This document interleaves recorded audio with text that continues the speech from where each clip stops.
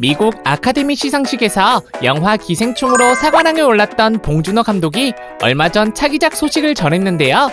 세계가 주목하는 봉준호 감독의 차기작은 심해에 사는 무척추 심해어와 해양생물에 관한 내용을 담은 애니메이션이라고 합니다. 말 그대로 깊은 바닷속을 뜻하는 심해는 보통 수심이 200m 이상 되는 곳으로 깊은 곳은 무려 2000m에서 6000m에 이른다고 하는데요. 일반적으로 태양빛이 희미하게나마 미칠 수 있는 수심은 150m이기 때문에 심해는 어두컴컴한 암흑 그 자체라고 할 수 있습니다. 빛이 없는 어두운 바닷속은 어떤 세상일까요?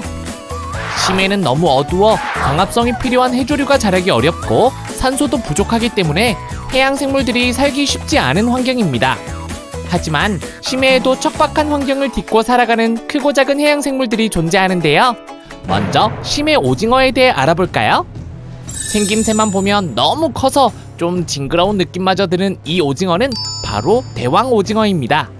수심 600m에서 1500m에 사는 대왕 오징어는 이름에 걸맞게 크기는 최대 14m에 무게는 무려 150kg에서 280kg에 달할 정도로 거대한데요.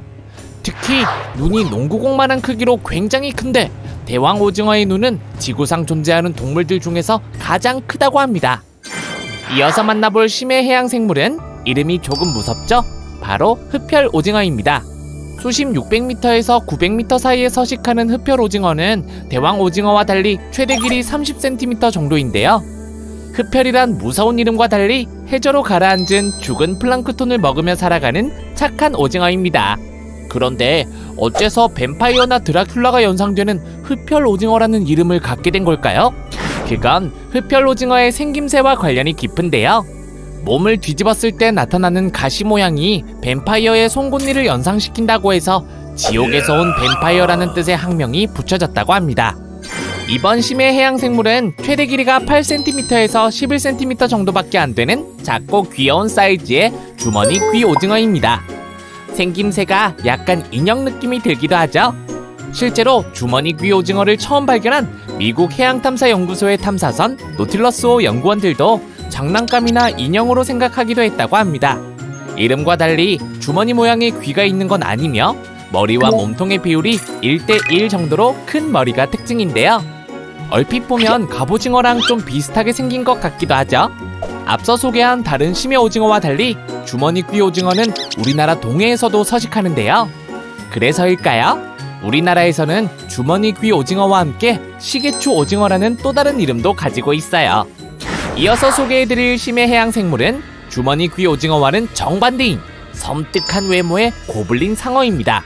긴 주둥이와 날카로운 이빨이 특징인 고블린 상어는 무서운 생김새 때문에 마귀 상어로 불리기도 하며 중생대 백악기 때부터 심해에서 살아온 덕분에 살아있는 화석으로도 불립니다. 고블린 상어는 주둥이에 일종의 레이더 같은 로렌치니 기관이 발달되어 있어서 어두운 심해에서도 작은 물고기를 쉽게 사냥할 수 있다고 합니다.